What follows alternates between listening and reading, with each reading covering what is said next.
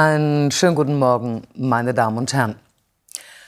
Nach dem Vorrunden aus bei der Weltmeisterschaft in Katar verlässt Oliver Bierhoff den Deutschen Fußballbund. Beide Seiten hätten sich darauf verständigt, den Vertrag vorzeitig aufzulösen, teilte der DFB mit. Bierhoff war als Geschäftsführer für die Nationalmannschaften sowie für die DFB-Akademie zuständig und insgesamt 18 Jahre lang beim Verband. Er übernehme die Verantwortung für Entscheidungen, die sich nicht als die richtigen erwiesen hätten, so Bierhoff. Bundesgesundheitsminister Lauterbach stellt am Vormittag Pläne für eine Reform der Krankenhäuser vor. Das bisherige Finanzierungssystem mit den sogenannten Fallpauschalen soll ersetzt werden. Ziel ist es unter anderem, dass künftig mehr Patienten ambulant behandelt werden. Bereits in der vergangenen Woche hatte der Bundestag einige Neuregelungen zur Entlastung von Pflegekräften sowie für Kinderkliniken beschlossen. Das Bundesverfassungsgericht muss heute entscheiden, ob sich Deutschland am milliardenschweren Corona-Aufbaufonds der EU beteiligen durfte. Die Karlsruher Richter hatten dafür 2021 zunächst grünes Licht gegeben. Es geht inflationsbedingt inzwischen um ein Volumen von mehr als 800 Milliarden Euro. Der Fonds soll den EU-Staaten helfen, nach der Pandemie wieder auf die Beine zu kommen. Die Kläger befürchten, dass am Ende vor allem Deutschland als größter Nettozahler für die Schulden anderer Länder aufkommen muss.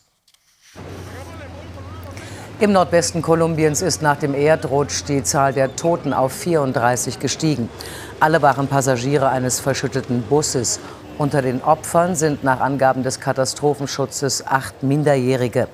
Der Bus wurde rund zwei Meter tief unter Schlamm begraben.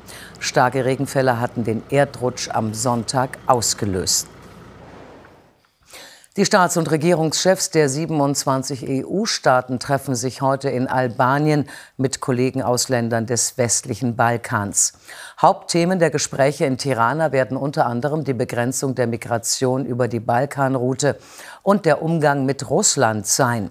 So beteiligt sich Serbien bislang nicht an den EU-Sanktionen wegen des russischen Überfalls auf die Ukraine und pflegt weiterhin enge Beziehungen zu Moskau. Auf Hawaii droht der Vulkan Mauna Loa, eine der wichtigsten Verkehrsadern der Hauptinsel, lahmzulegen.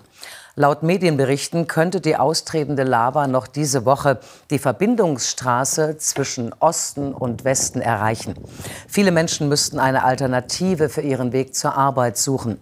Vergangene Woche war der Mauna Loa erstmals seit fast 40 Jahren wieder ausgebrochen. Die US-Schauspielerin Kirstie Alley ist tot.